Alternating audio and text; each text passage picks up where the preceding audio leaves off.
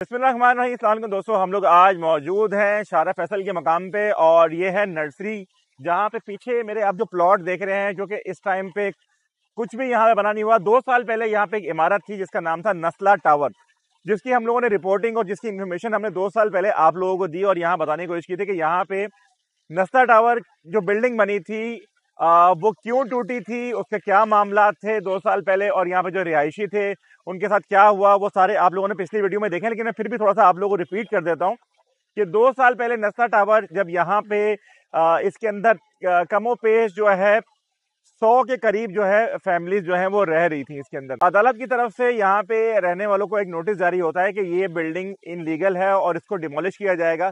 उस टाइम कराची के अंदर एक डिमोलिश और तजावजात के ऊपर एक ऑपरेशन चलता हुआ नज़र आया था और कराची के दीगर इलाकों के अंदर जो है जो भी बिल्डिंग्स थी, जो भी ऐसी मार्केट थी चाहे वो एम्प्रेस मार्केट हो, चाहे वो ये नस्ता टावर हो, आप अगर देख रहे हैं, मैं इस टाइम पे एक सर्विस लेन हमारे साथ शार फैसल है। शार फैसल के साथ एक एक सर्विस लेन एक रोड जो है, आपको तारिक रोड की तरफ़ जाती हुई नज़र आ रही है। और जिस जगह मैं खड़ा हुआ हूँ, ये एक कनेक्टिंग सर्विस रोड है जो कि आपको इस पी के एरिया से सिंधी मुस्लिम के एरिया से कनेक्ट करती है।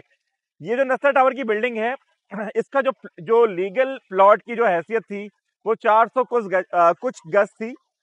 लेकिन ये प्लॉट जो है ये बिल्डिंग जो है ये ऑलमोस्ट रोड पे आ गया था जिसकी वजह से इनको कोर्ट की तरफ़ से ये नोटिस जारी हुआ और इनको इसको तोड़ने का आ, बोला गया।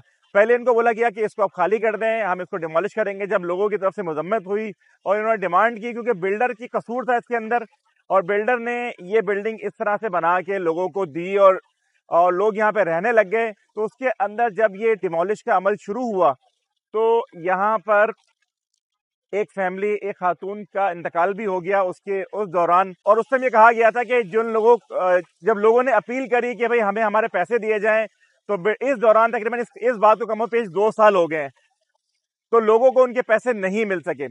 लोगों ने उस टाइम क्या कहा था और क्या मामला हुए थे चलते हम थोड़ा सा दो साल पहले की जो लोगों की फीडबैक है थोड़ा सा वो आप लोगों को दिखाते हैं। चीफ ऑफ़ जस्टिस से हम ये मुतालबा करते हैं दरख्वास्त करते हैं रिक्वेस्ट करते हैं, वो क्या चाहते हैं, जो वो चाहते हैं वो करने को तैयार है। वो कहते हैं, अपनी फैमिली को लेके आओ और आग लगा दो, हम वो भी करने को तैयार है। लेकिन खुदारा, हमें बताया जाए, हमने कितनी कितनी मरतबा अपील भी की, हम वहाँ बाकायदा पेश भी हुए, उसके बावजूद उन्होंने किसी चीज़ को, हर चीज़ को रिजेक्ट कर दिया फ़ाइल को फेंक दिया कि नहीं, हमें नहीं देखना ये, बस आप इस फ़ाइल को, आप आप इस फ्लैट को बेच दें आप इसको आप इसको बिल्डिंग को तोड़ दें ये मुतालबा। हमारा मुतालबा सिर्फ़ एक ही है। चीफ जस्टिस ऑफ़ पाकिस्तान हम रिव्यू में जा रहे हैं। खुदारा खुदारा खुदारा चीफ जस्टिस ऑफ़ पाकिस्तान के हमारे हमारे रिव्यू को देखें हमारी फ़ाइल को देखें। हाँ अगर फ़ाइल में किसी किस्म की कोई कमी है किसी भी किस्म की कमी है तो उसके हम जिम्मेदार हैं। बिल्डर के पेपरों में किसी किस्म की कमी है हम उसके जिम्मेदार हैं। फिर हमें प्लेंटी दी जाए फिर हमें कहा जाए हम बोलेंगे हाँ हम कसूरवार हैं। हमने ये चीज़ देख के खरीदा नहीं था इसकी सजा हमें मिल रही है हम कसूरवार हैं। मैं ये सवाल करना चाहता हूँ कि तीन साल से चार साल एक प्रोजेक्ट को बनने में लगते हैं। कोई अलादीन का चिराग लेके नहीं पैदा हो जाते प्रोजेक्ट रातों रात नहीं रातों रात नहीं बनते कोई के आके लाके किसी ने क्रेन से खड़ा कर दिया प्रोजेक्ट को। ये तीन चार साल तो ये जब ये प्रोजेक्ट बन रहे थे तब क्यों किसी ने ऑब्जेक्शन नहीं उठाया? जब क्यों कोई इदारा सामने नहीं आया? जब हर चीज़ की एनओसी दी गई हर चीज़ को वेरीफाई किया गया हर चीज़ को क्लियर किया गया। इसके बाद उन्होंने हर चीज़ में परमिशन दी है। कोई सिंधी एस बी सी या हो गया या सिंधी मुस्लिम हो गया, किसी ने भी इसकी रुकावट नहीं की। क्यों नहीं की? ये हमारा सवाल है, चीफ जस्टिस साहब से कि ये क्यों नहीं की? जब एक चीज़ की एनओसिया मौजूद थी तो हर चीज़ को, इदारों को, जब इनको ऑथोराइजेशन दी गई थी एसबीसीए को क्यों अथॉरिटी दी गई है कि वो प्लान पास करें? एमसीएस एमसीएच को क्यों अथॉरिटी दी गई है कि वो हर हर जो उनका प्लॉन के सर में प्लॉन आता है, उनकी वो डीलिंग करें?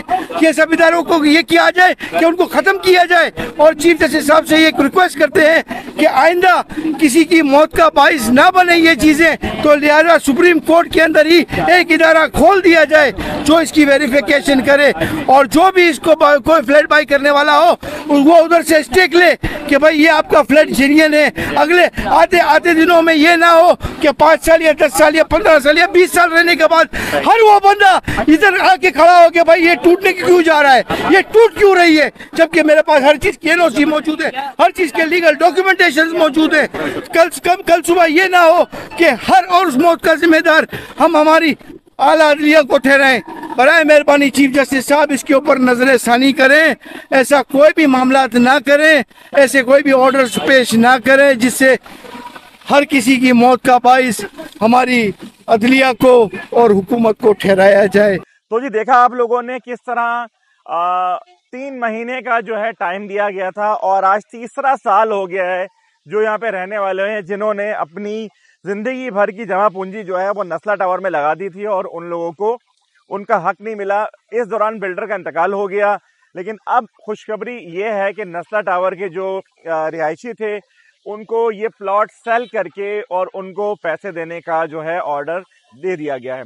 तो ये एक अच्छी एक बात है, खुशखबरी है उन लोगों के लिए जिन्होंने अपनी ज़िंदगी भर की जमा पूंजी यहाँ पे लगा दी थी।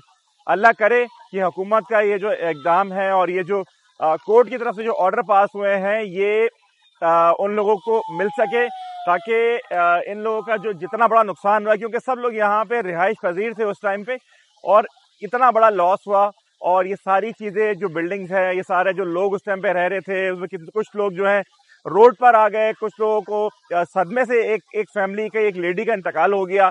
तो बस इस वीडियो का मकसद अभी यह था कि एक इन्फॉर्मेशन आप लोगों तक पहुंचानी थी कि नस्ला टावर जो कमोपेश दो ढाई साल पहले जो यहाँ से डिमोलिश हुआ था अब उसकी आ, ये प्लॉट सेल करके जो इसकी जो भी रिमेनिंग अमाउंट आएगी सबको देने के बाद ऑब्वियसली वो बिल्डर के पास जाएगी लेकिन जो भी लोग यहाँ फैमिलीज़ रह रही थी जिनकी यहाँ पे जिन्होंने इन्वेस्ट किया था बिल्डर के कहने पे उनको वो अमाउंट दे दी जाएगी।